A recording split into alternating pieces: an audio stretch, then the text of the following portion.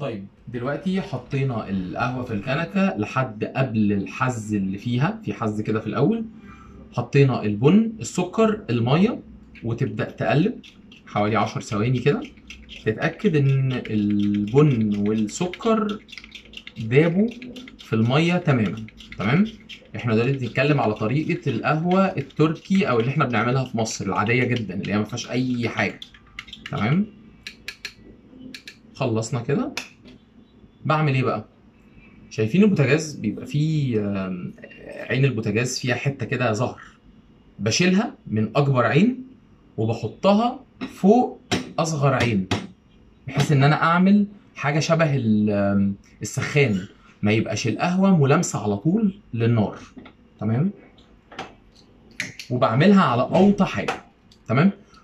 القهوة هتاخد حوالي آه، سبع ثمان دقايق. قول ثمان دقايق. أنا باجي بعد ثلاث أربع دقايق وبقلبها في النص تقليبة كويسة حوالي 10 ثواني كمان.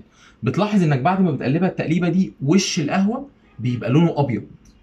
أنت كده تبقى ماشي تمام وتعرف إن قهوتك هتطلع أحسن نتيجة. طيب خلينا بسرعة بقى أقول لكم الإخوة السوريين بيعملوا القهوة إزاي. الإخوة السوريين بيعملوا حاجة مختلفة خالص عن اللي إحنا بنعمله تمام؟ وطعم القهوة هيبقى مختلف. بيجيبوا كنكة بيجيبوا الأول السكر ما بيجيبوش البن في الأول أوكي؟ وبيحطوا مقدار السكر اللي هم عايزينه وليكن مثلا هم هيحطوا معلقة. فبيحط معلقة سكر أوكي؟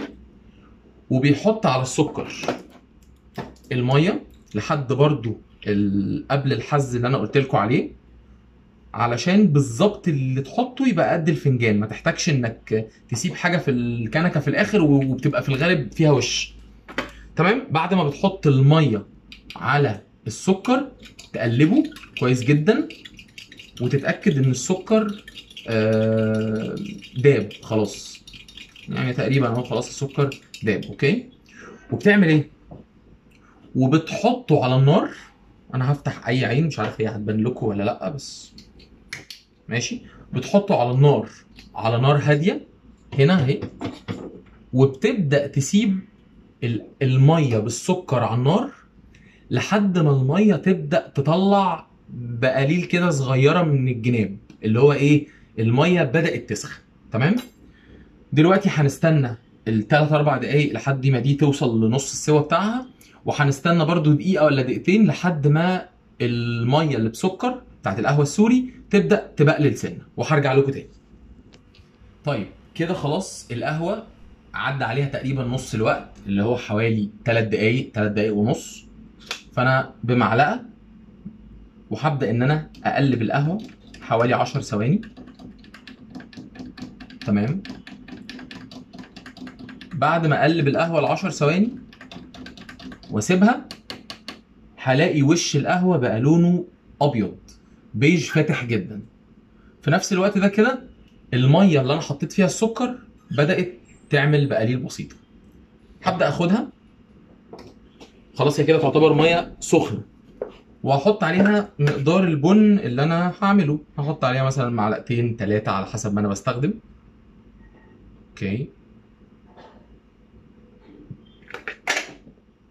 فكرة بقى القهوة السوري إن أنت بعد ما بتحط البن على المية اللي بسكر اللي سخنت بتحطها على النار وبتبدأ تقلب فيها على طول وما بتسيبهاش لحد ما القهوة بتخلص. هي مجهدة شوية انت هتفضل تقلب تقلب تقلب بس هي كده كده هي بقى لها 3 دقائق على النار فهي كده كده خلاص المية بقت سخنة جدا. فانت مش هتقلب أكتر من دقيقة أو دقيقتين وهتبص تلاقي القهوة جاهزة. فنقلبها كده ونشوف هيبقى شكلها عامل إزاي.